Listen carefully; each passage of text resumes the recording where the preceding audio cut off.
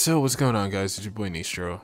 We're back with the most blatant cash grab Konami has ever made in Yu-Gi-Oh! has just been revealed as the Rarity Collection 2. I don't really understand Konami's mindset going into that. Well, I kind of do. I understand why they decided to make a Rarity Collection 2 so soon after the first one. In OCG, they get a Rarity Collection box about every every few months or so. Like they've gotten multiple within the past year, the reprints of which have been kind of decent. They got like a lot of anime or deck specific reprints in the OCG collection boxes. So here in TCG, it's like TCG Konami saw how well the first Rarity Collection did, which deservingly so, and we'll go into why that is in a bit, but they saw how well the first Rarity Collection did.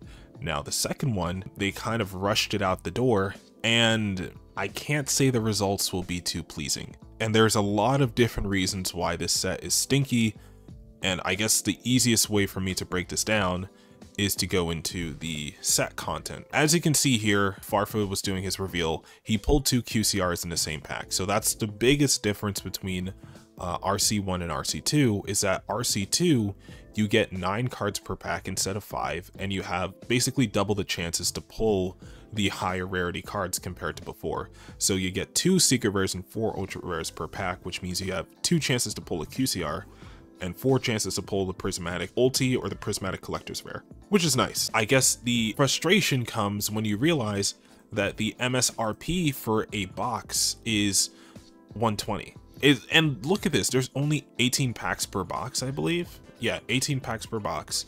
And it, it, it doesn't even look it doesn't even look like a booster box. This looks like some sort of like special edition. So where does Konami get off making this $120. Well, let's see what's reprinted in here so we can see, oh, maybe it might be worth the um, large amounts of money that it's demanding. And we start to go into the, the list of the Rarity Collection.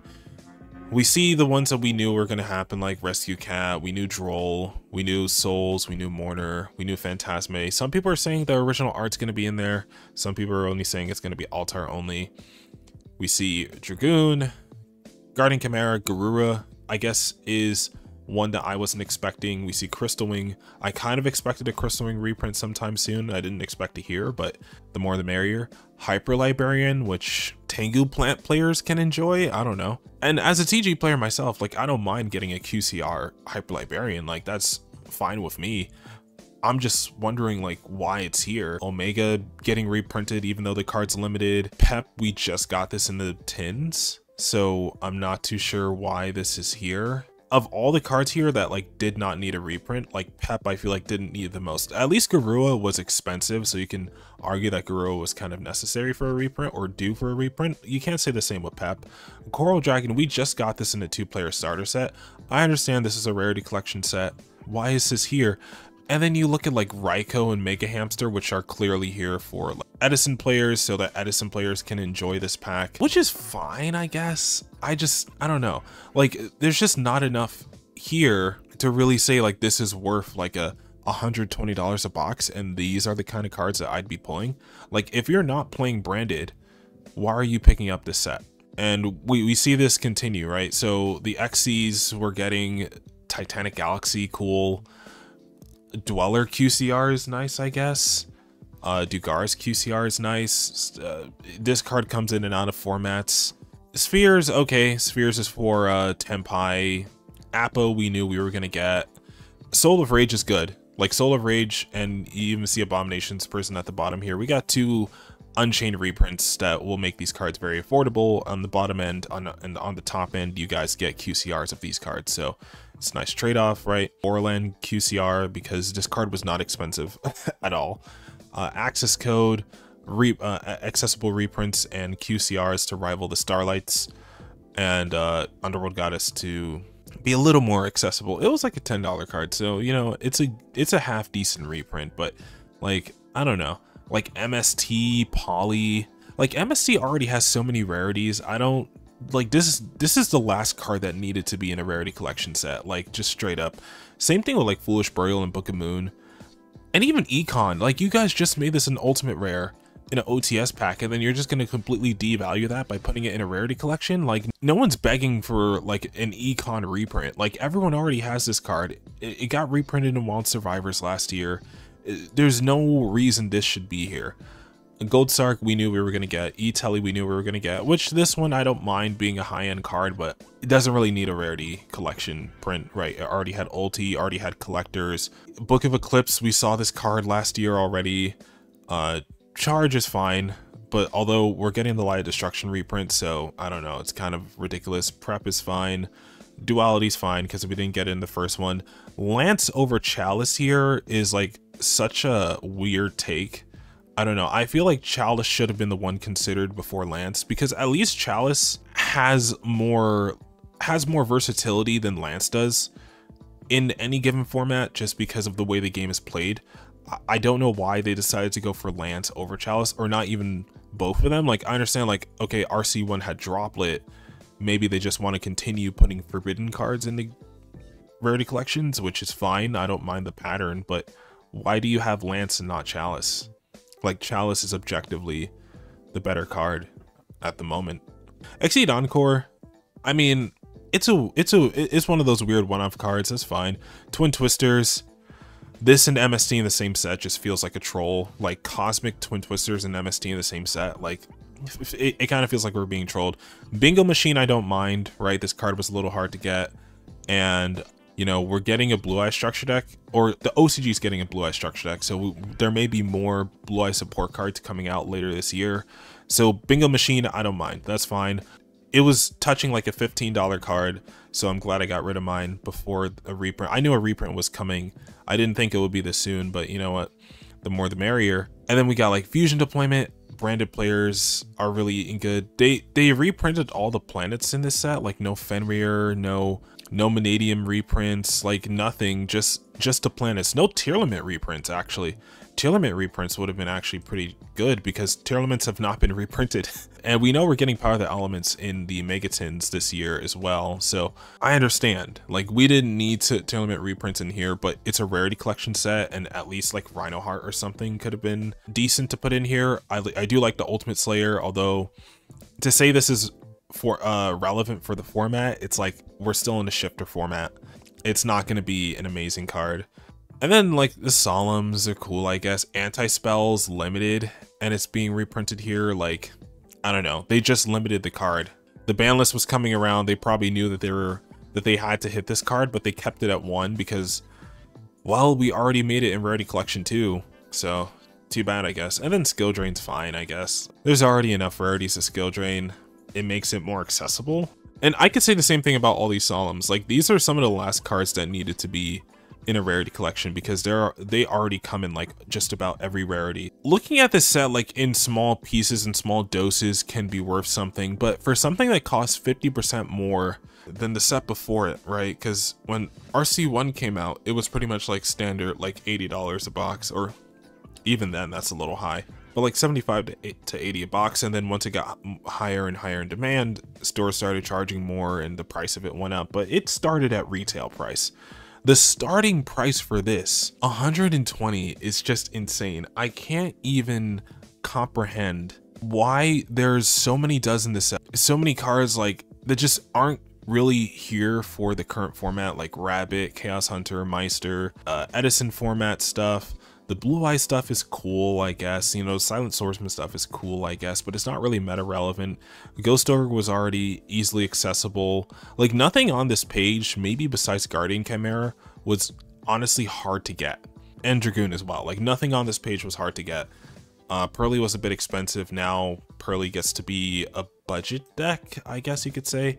But you look at just the complete total set and it just feels really weak. Even if you do think like there's a lot of good cards in the pack as a whole, it, it just buying a box of this where you're going to be pulling a lot of duds like you know a lot of Sol and Luna mind control uh, you know um not to say Borland's bad it's just not amazing. It's just not an amazing reprint uh because the card was already cheap as hell. And you know forbidden lances aren't going to do anything uh gold sark like a lot of cards that are limited like gold sark and uh, Psyframe Omega and Hyper Librarian. It just feels like a very like out of touch set. Like this just doesn't feel like the same thing as Rarity Collection 1. Whereas Rarity Collection 1, you can kind of just buy a box and get a lot of the staples that would put you up to speed with modern Yu-Gi-Oh! And uh, just looking back at Rarity Collection 1, right? So we had Borreload, we had Baron, uh, Striker Dragon, Selene, you know, uh, Rhoda, Fossil Dig, like cards that actually, for a lot of decks, like these cards are like universally pretty good. Cherubini, Nightmare Unicorn kind of got phased out by the time this reprint came out, sadly, but you know, it's still not a terrible card to keep around if you can't afford SP. Desires, Called by, Extra, Dark Ruler, Lightning Storm, Nadir. Like, basically this entire bottom row besides Magicalized Fusion, these are all meta-relevant cards. Like Veiler, Tour Guide, Lancea, Sphere Mode, Ash, Bell, Shifter, Nibiru? That's like, there's like triple or even quadruple the number of useful cards as there were in this rarity collection too. I feel like it's just I don't know. There's just so many cards here that were just either like not accessible or like hard to get in the same place. And now you can open a box and pull a playset of this, of all this stuff potentially. You know, like the playset may be in different rarities, but it's still a playset. You know, that you have Prosperity, Summon Limit, uh, Deep Barrier, Evenly, Imperm, Ice Dragon's Prison. It's like, man, like, it's, it's crazy. Fetter Storm for the flu players, even though it didn't need a reprint. Some of them before it got banned, this was a pretty big deal. And just so many good cards that just I don't mind there being like, you know, like your Afterglow, which was due for a reprint, you know, your Abyss Dragon, which could could have been due for a reprint. The Master of Beasts uh, Alpha, all bats in every rarity, that makes sense, you know, uh, Cyber Angel and Herald of you know, in every rarity that makes sense. Junk Speeder, because this is the starter for Synchron decks, that makes sense. Mud Dragon and Dragostapelia as super poly targets in max rarity. Lone Fire in max rarity, Tour Guide max rarity, something for the hero players with like Ferris and uh, Dark Law. Luna didn't need to be here, but Inspect Border for the uh, stun players, Blackwing, and yes, you know, there and even Lava Golem skimmed over that, and Striker Dragon, uh, Code Talker, Avramax, Artemis. Like, there are so many cards here that even if they're not like the highest tier of meta relevant, they're still like around. They're still potentially usable tech cards for the future. And you just can't say the same thing about like Rarity Collection 2. There there's like a few of them that like okay, like yeah, like Cat, DD Crow, Droll, yeah, Mourner, yeah, Souls, yeah. Uh, Phantasme, of course, Ghost Ogre, yeah, but then it's like it kind of starts to get harder the more you go down, unless you're playing branded. Like this really is just a branded pack. Like I can't imagine cracking open this set for the price that it is without being a branded player and like enjoying or like being satisfied with like what I pulled. I, I definitely would not be satisfied unless I pulled like a QCR um, access code talker. So we come to the end and it just feels like, I don't know, this set, this set just feels like a blatant cash grab. Like even in like opening Omega, you know, like Mega Hamsters, like the Solemn, it just doesn't feel good to have these in the Rarity Collection when you know like we already know warning has ulti judgment has ulti already twin twisters is just out of nowhere. The Purrely cards are cool i guess. Dragoon is nice i guess. Like foolish is nice too. I don't know if foolish had an ultimate rare. I think foolish didn't have an ultimate rare before. I think secret was the highest so i guess foolish is fine. And yeah the, the planets are going to make the some of the some of these decks a lot less expensive to buy into but you're still going to need to buy Tear like the rest of the Tear core. tier tier cash is still crazy.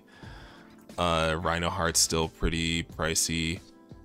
And I guess that's it. Because of the way Tear is played now, you're gonna have to buy like a bunch of different engines and tech cards and stuff. So it's not even like Tear is um, that crazy of a deck right now. It, it maybe once Fiendsmith comes out, it'll be like a crazier deck, but right now Tear's just okay. I'm not gonna bother with the set costing $120 a box. It, it just doesn't feel good. I, I just can't spread joy about this set because it, it just doesn't seem to be much here. I would say buy singles and don't waste your money, but I know some people are going to want to buy this box anyway, but as I said, it doesn't even look like a box. It looks just as disappointing as it is And I think that's the most valid. Uh, this picture of how this box looks is, is an accurate portrayal of how you're going to feel after you crack one of these open.